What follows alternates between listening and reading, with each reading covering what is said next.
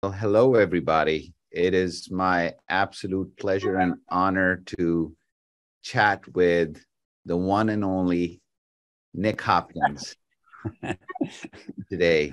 Um, Nick uh, is uh, really the first neurosurgeon in the modern era who took on um, treating vascular disorders of the brain and central nervous system uh, through endovascular techniques and has been a pioneer and a leader in this revolution that has changed the way we treat vascular disease today and is directly personally responsible for training the majority of the neurosurgical leadership in this space.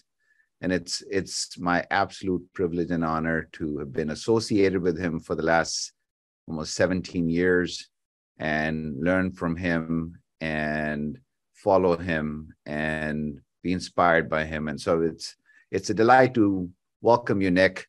How are you? Thanks, Adnan. Doing fine. Did you say 17 years? Yes, boss. Oh my God. It's been a while. I've been around. Sure oh Lord. I know. I know you feel like it's 30, but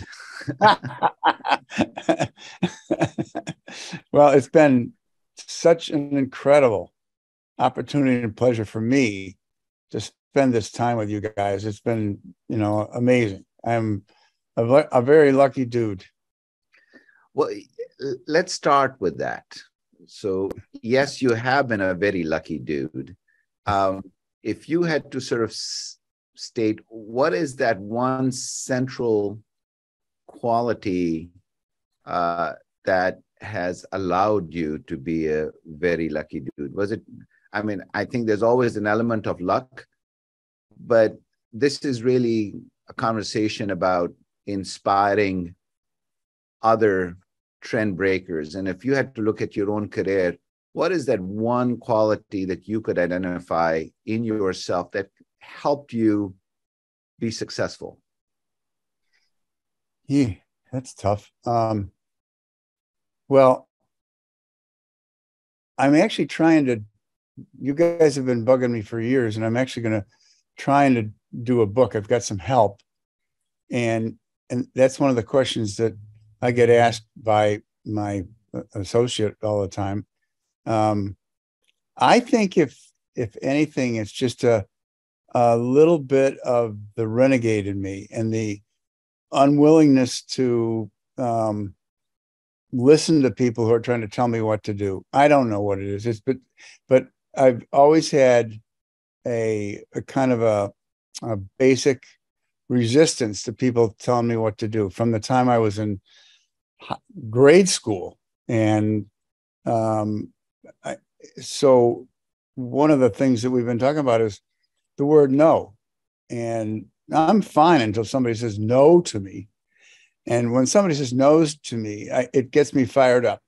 And and and then if I get some crazy idea and somebody, and that's always what happens when you get some crazy idea and you ask people about it, they'll they'll tell you, well, that's that's probably not possible.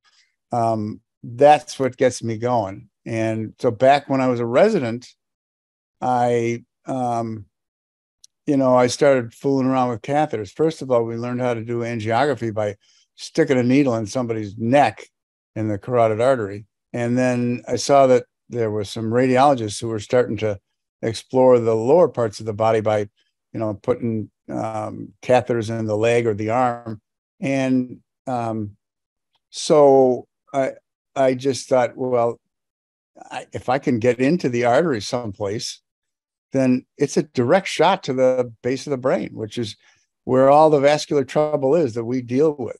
And then I had, I think I had an epiphany when I was scrubbed with one of our senior neurosurgeons. I was a resident, and uh, we was trying to clip an aneurysm, and it was at a time we didn't have microscopes, we didn't have micro instruments, we didn't have anything except basic tools that you would use for a GI procedure. And and of course he ruptured the aneurysm and and I stood there with a sucker in my hand trying to stop the flow and eventually the poor guy bled out on the table and that was for me and that was in the that was in the let's see it was in the early 70s. And I just said, she said, there's got to be a better way. And and and then uh, during my residency, every chance I had, I was sticking needles in patients and animals and everything, and putting catheters wherever I could.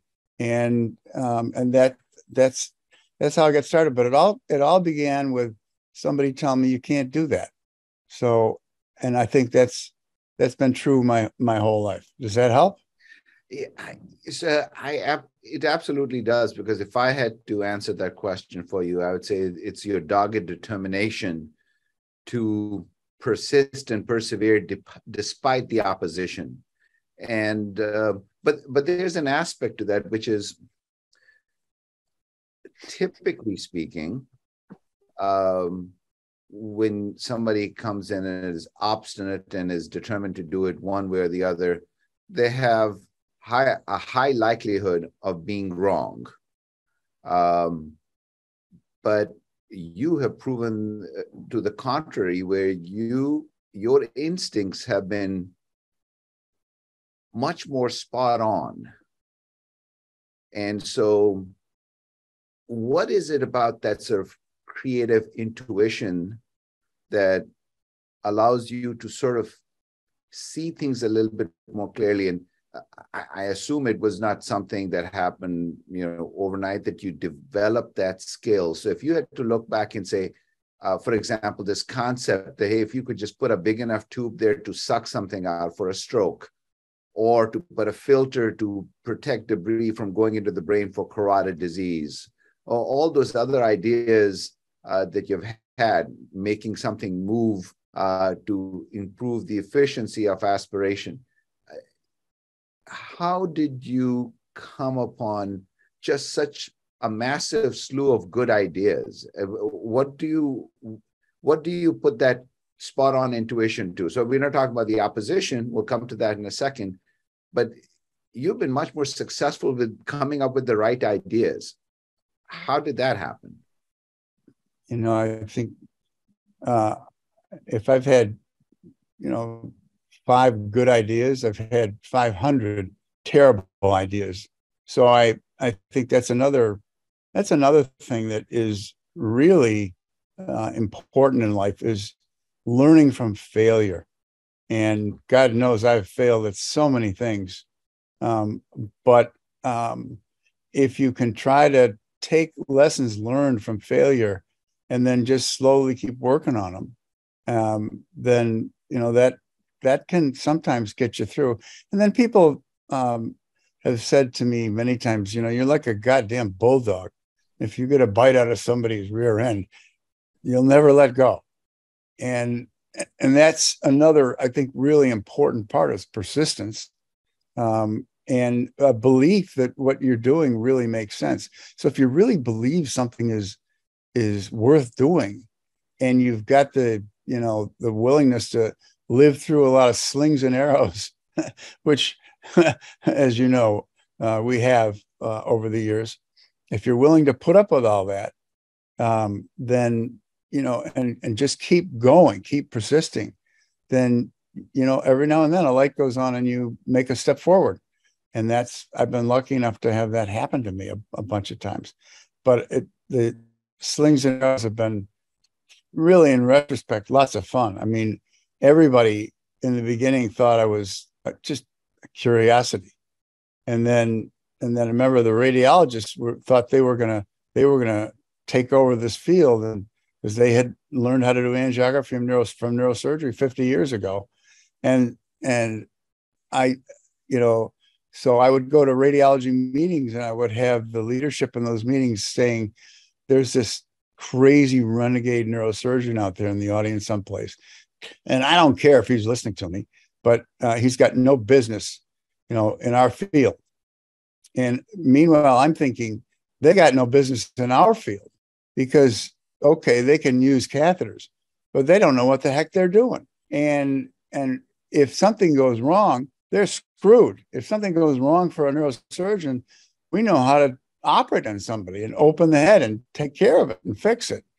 So I've always thought from the beginning that was a you know kind of a pillar of my uh, thinking we can do this, and and so although I got a lot of problems from great friends, um, I I was always buoyed by the belief that you know this this this is this is what needs to happen.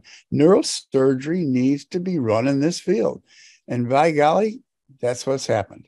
And I'll never forget one major debate where I was debating my old friend Spetzler, and he was um, showing a whole lot of sides about surgery is much better than catheters, blah blah blah blah blah, and um, and I would agree with him for some things, but uh, for other things, you know, I absolutely believe that that the catheter-based approach was better. So he f- ended up with some really, you know, like he always does. He's got the absolutely magnificent images of how he fixed some impossible vascular lesion, and all I did was put up a I, I, got, I got from in I got the graph of the volume of patients being done endovascular versus surgery, and they had already crisscrossed.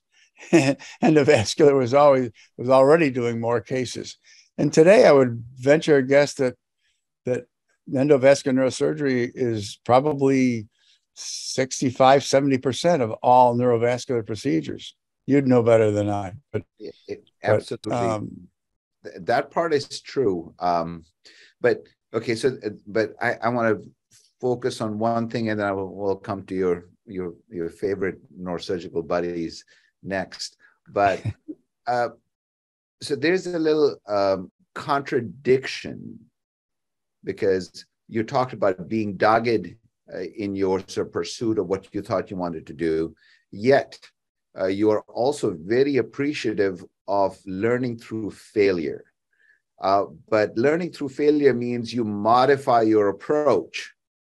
Uh, how do you balance modifying an approach and still being dogged about pursuing a particular direction? So, um, and what I mean by that is the goal and separating it from the path, the journey to the particular goal.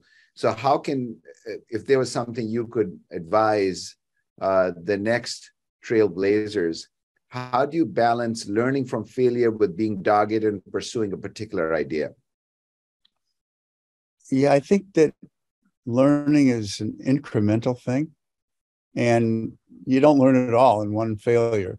But when you do a procedure i mean you know we all experienced it. When you do a procedure and and you you know damage some major vessel or brain structure you know you you sweat about it for you know days. And and i you know i remember maybe the greatest neurosurgeon that ever lived charlie drake who and when i i went to visit him it was an absolutely amazing experience for me because um, I, I i i went to the or with him watched him operate and um, and he was just blazing a trail for basilar aneurysms at that point.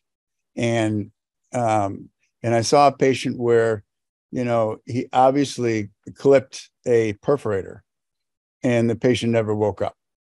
And so the next day on rounds, um, Charlie was beside himself, like, God, how did I do this? How could this happen? And just beating himself up um, and and this went on for you know five to ten minutes. Uh, this patient was never going to wake up, and then the next day on rounds, oh God, how did I screw that up? And then like the third day, he didn't hardly even remember the patient. And I said, My God, how could that be? And he said, he said to us, you know, you have to, when you're dealing with this kind of illness, you have to compartmentalize your life. So you wring everything you can out of it when you make a mistake and you hurt somebody. You wring everything you can out of out of it, and then then you let it settle, and then you tuck it away. And then the next time, maybe you don't make exactly the same mistake. You're still going to make mistakes, but but each time you make a mistake, hopefully you get a little better. Isn't and isn't that exactly what happened with him? Eventually, he figured it all out, and all you got to do is not clip a perforator, and and you can do well. And that was a huge lesson for me. Learn from the mistake. Don't you know beat yourself up, but not forever. And once you've accomplished uh, and learned as much as you can, you've got to put it behind you, or you'll you know you'll never succeed.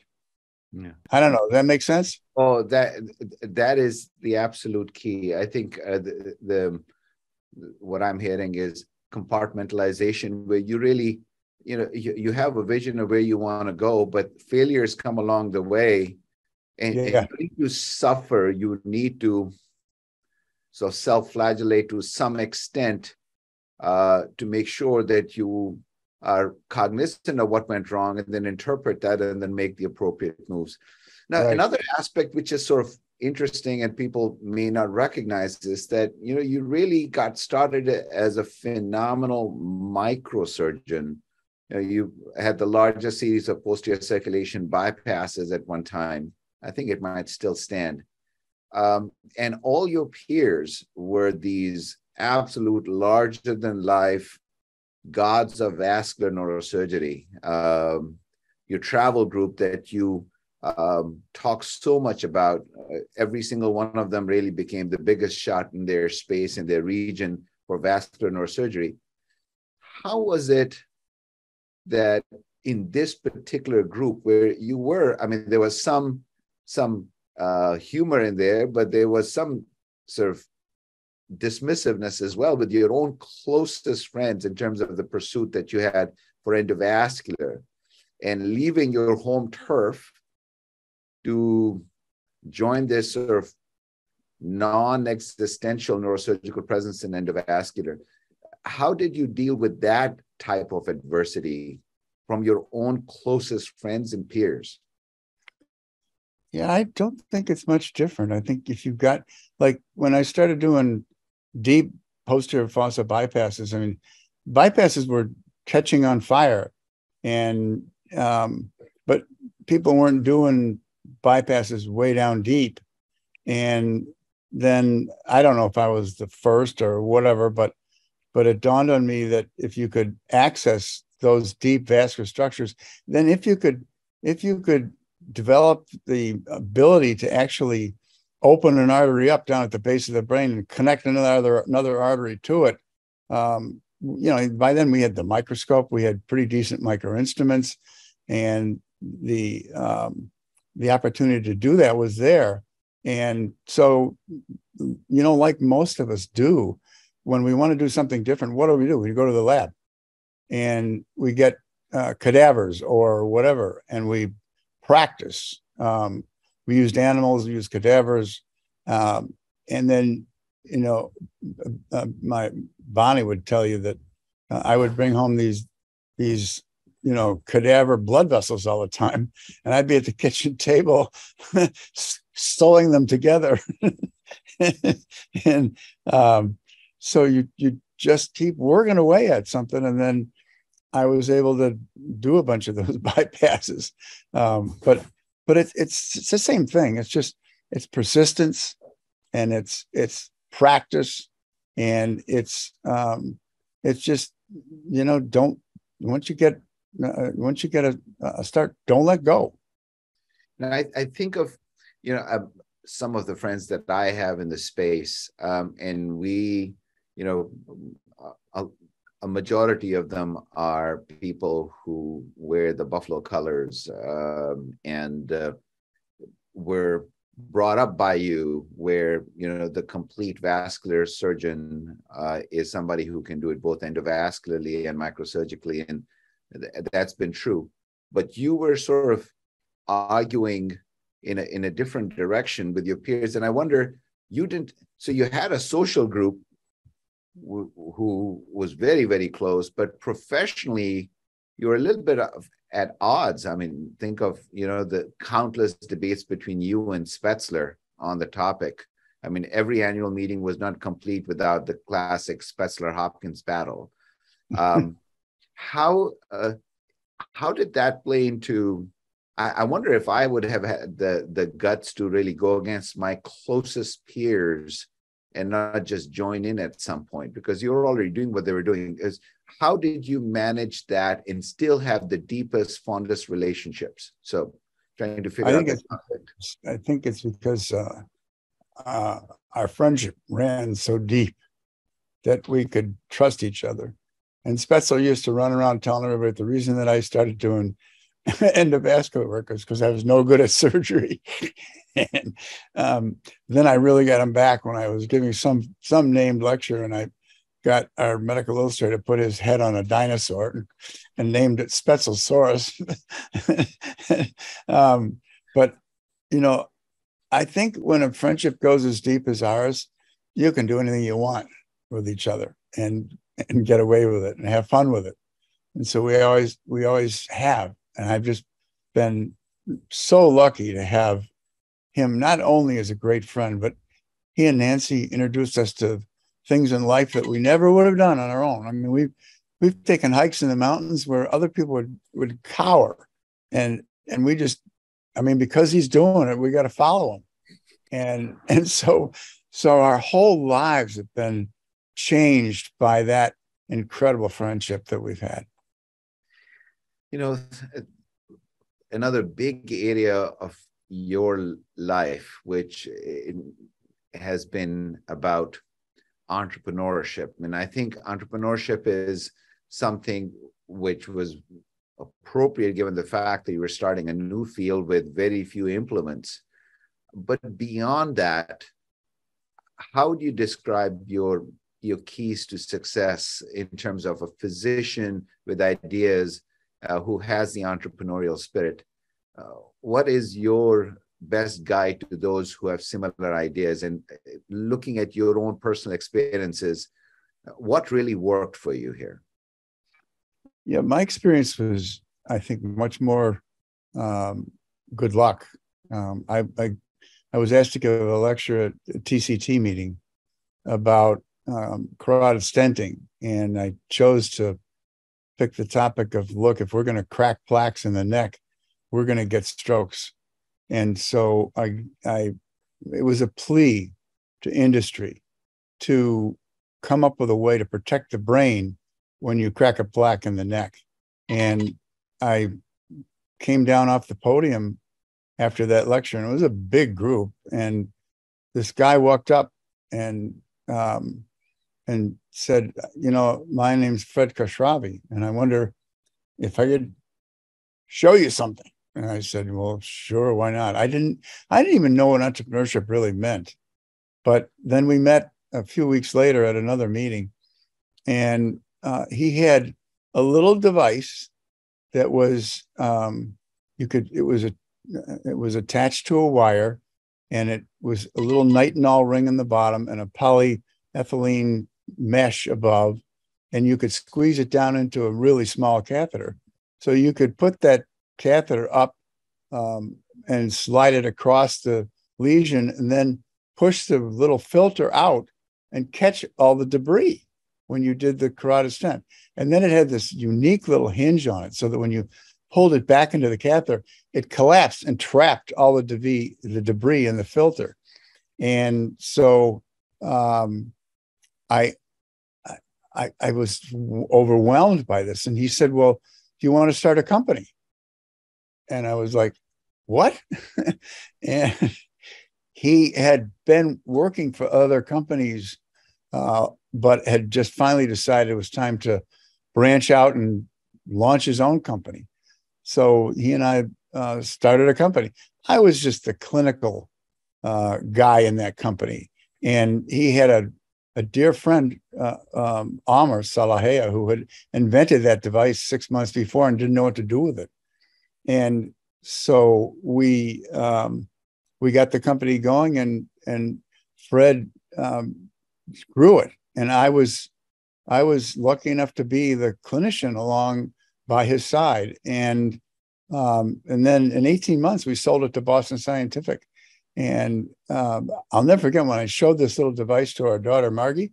You said, Dan, the thing the, the thing looks just like a condom, and um, so but it worked, and uh, it became worldwide. It became a really uh, important device. And gosh, when you think about if you can help a lot of people all at once with one little device, and and we as surgeons can only help people one at a time.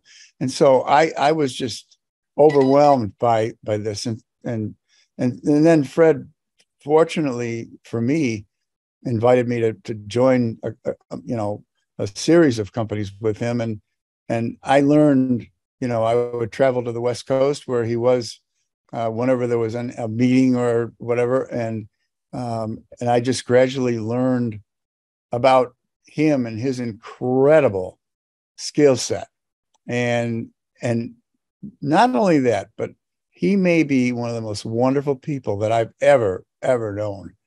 I mean he's an iranian kurd whose dad forced him out of the country during the revolution because it, was getting so ugly and he to this day you know he furthers the kurdish causes in in iran and um, and he's just such a dear friend. It just we we've gotten so close, and it's almost like, my gosh, I don't.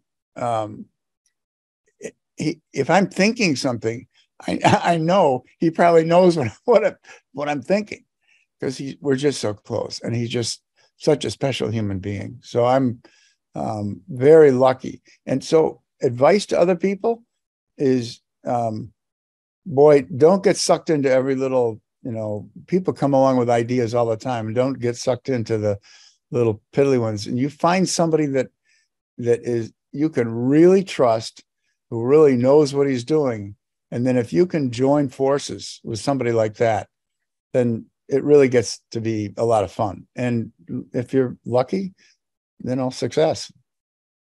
Now that's that's so inspiring because I, I, I think what this describes is is is a true lifelong partnership with with a the a trusting friend who brings the business skill and the engineering acumen and then you have the clinical expertise and it's a true partnership which results in success which would not be possible if you as the physician were trying to be the business leader no. or the engineer or the engineer was trying to be the clinician. So it's that partnership that it's it's groups of people coming together rather than one sort of quitting their day job and, and learning yeah. a whole new set of skills.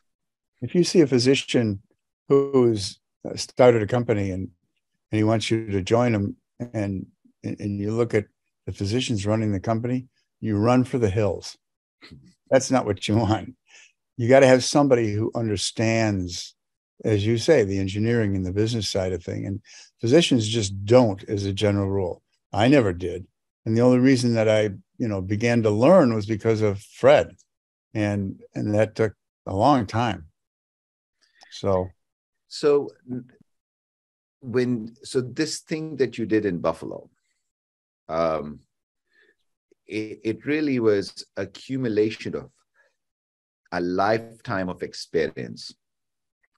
Um, and so I, I want you to sort of to describe the vision that you had for the Gates Vascular Institute and how you got to it because you put all these pieces together that you know you had spent decades meeting with these radiologists and vascular surgeons and cardiologists uh, doing conferences with them going to their meetings learning from them and then you're doing this entrepreneurial thing with Fred and Amr and others. Um, how did you put it all together, and how did you come upon doing this in Buffalo? Well, I think once again a lot of serendipity and a lot of luck. Um, as you know, must be now over 20 years, well over 20 years, maybe 25 years ago, that um, you know, we began to think about failure as a real learning opportunity. And, you know, for for your neuro meeting, uh, what is the motto? Um, what is it? Uh, uh, mistakes failure are the portals of discovery. Yes, exactly.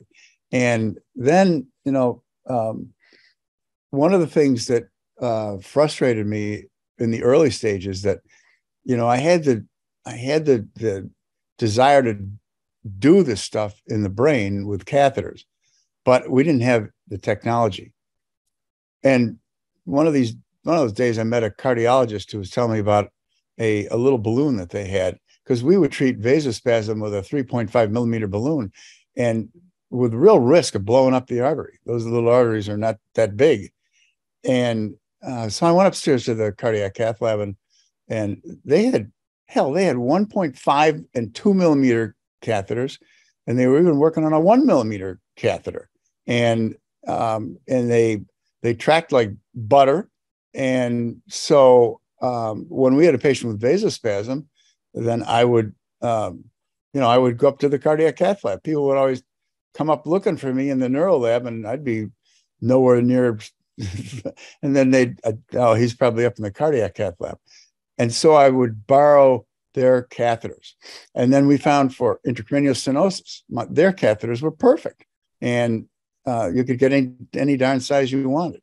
And so uh, it was um, it was a matter of learning from other disciplines that really kind of was another epiphany for me. And and then uh, we started a meeting. I mean, you you you remember when we started a meeting on failure. Um, we call it the Failure Analysis Advisory Council. But we said, hey, let's bring in the other disciplines. So we invited, you know, the thought leaders, only the thought leaders in cardiology, vascular surgery, and uh, radiology, along with our neuro group. And then uh, we ended up uh, meeting in Jackson Hole because it it was a very confidential kind of meeting and and so what we would do is the group would come together maybe 30 of us and and we would just share our complications and then the insights gained from the other disciplines really really wa- was an epiphany for me and i saw the, the need for multidisciplinary collaboration and then um, Larry Jacobs, who was a dear friend and a neurologist who he invented beta interferon. Uh, poor guy got cancer and died uh, in 1981. And the family uh, really wanted to do something to memorialize him. And so they approached me a few years later and they said, Would you help us? I said, Of course, I would help you. We want to build a neuroscience center. And I said, I'm not interested. Um, they said, Well, what do you mean? What do you want to do? um, and I uh, I said I want to build a multidisciplinary vascular center, bring all the disciplines together, force them together, so that if you want a cup of coffee between cases, you're going to find it with a cardiologist or a vascular surgeon, not with another neurosurgeon. And and so um, I presented that case to the Jacobs family, and they said, no, no, no, that's not what Larry wanted. I said, well, okay, fine, I'm done.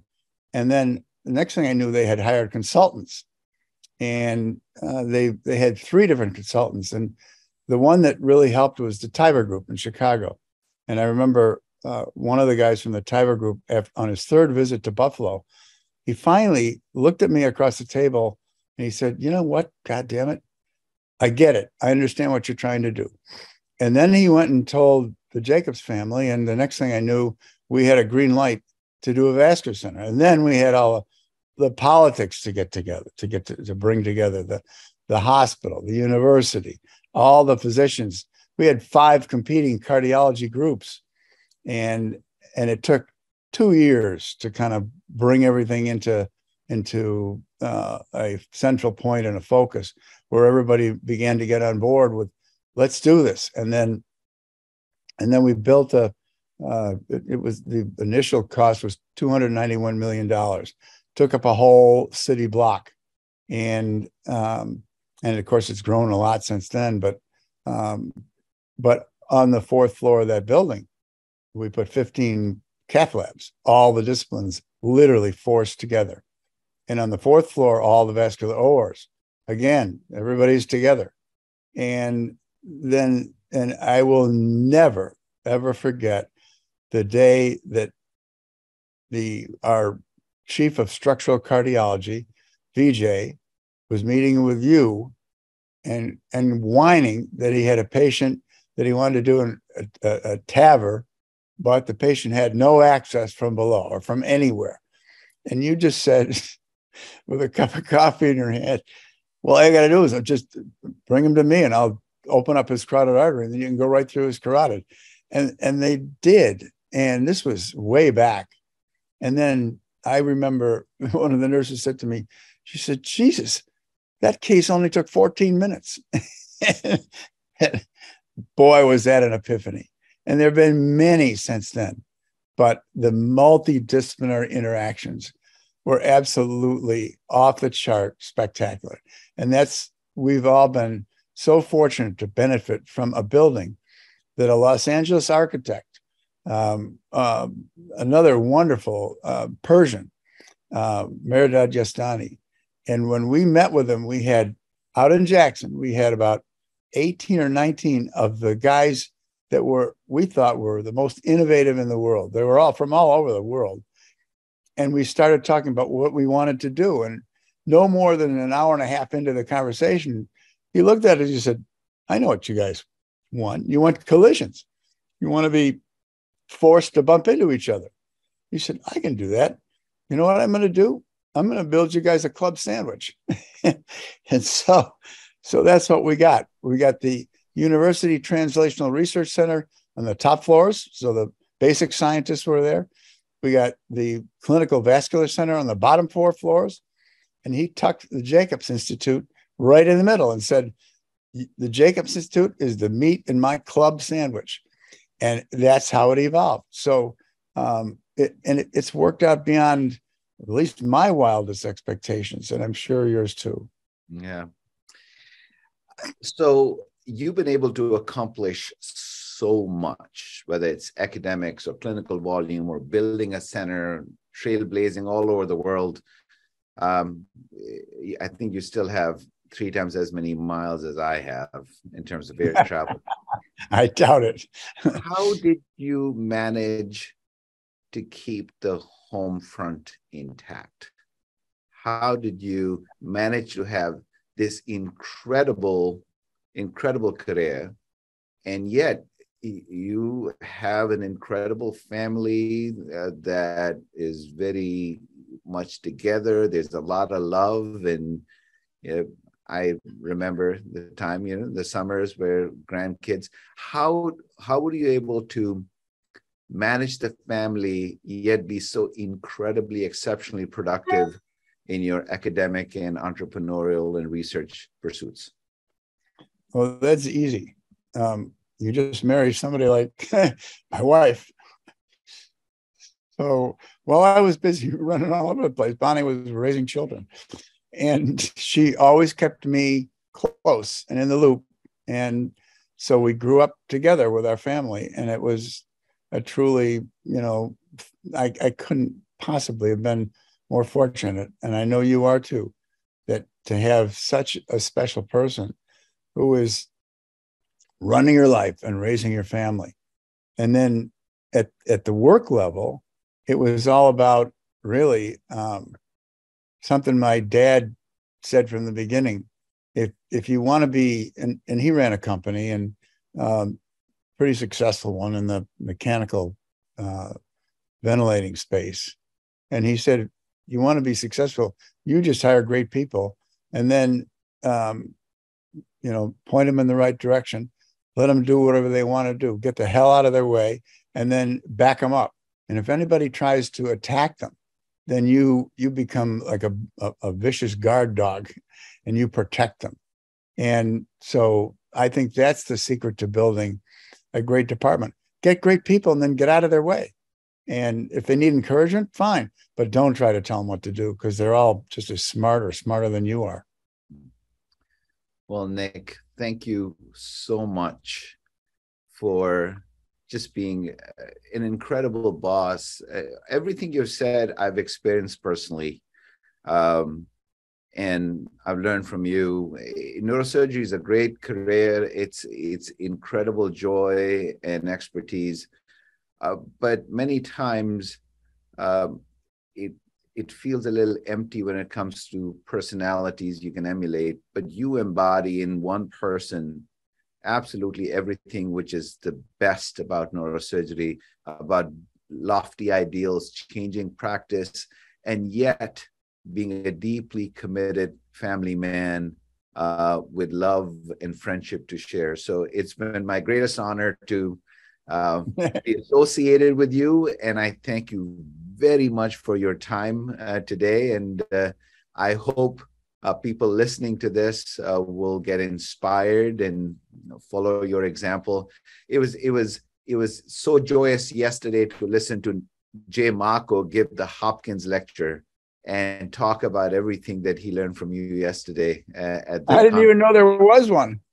Well, you have an award named after you, and Jay was the recipient this year. And it's just a, a, a, wonderful circle of life to see that happening. You, yeah, I'm most grateful to you, as we all are, for everything that you've done for us. Well, you guys have been the mainstay for me. I mean, my whole life has has been you know, professionally. It's been built around you young guys. And I, I can't even begin to tell you how grateful and appreciative I am of all the things you guys, you know, everybody's off on their own career, doing their own thing, but I know everybody, I know everybody cares. And that's, that's pretty special. So thank, thank you. you so much. Thank you, Nick. Thank you very much.